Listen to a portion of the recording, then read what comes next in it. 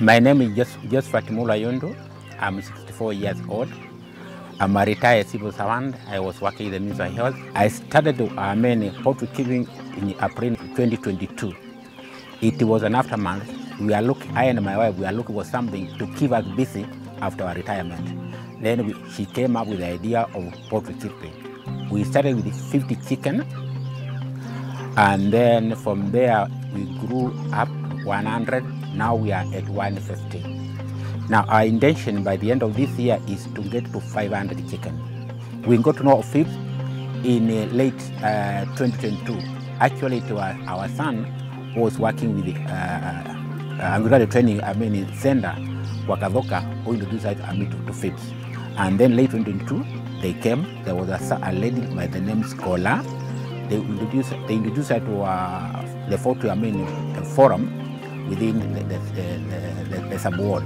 Then from there, I've attended about uh, about three trainings on on poultry, and from there I've gained a lot. That's why I got the, courage now. I want to increase it from where I have 150 to 500. The aim was to cap, I mean to keep chicken.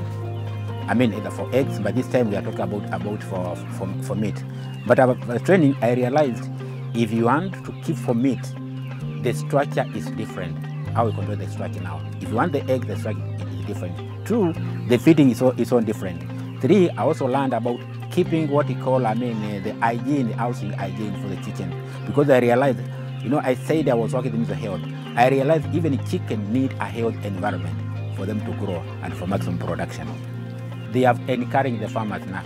And I remember like the moment when you go for training, they usually say, uh, in kilimo biashara, and then give us examples of farmers where they have been and up, before they make the feeds and, and now here.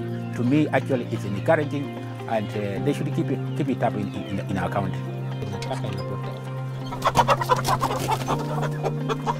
Now, these ones are ready for market. Actually, they are they are four months old now here.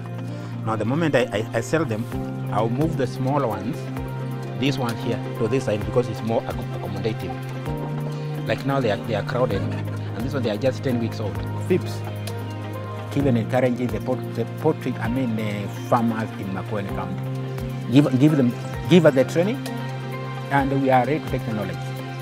And from there, you know, it is Kilimo Biashara.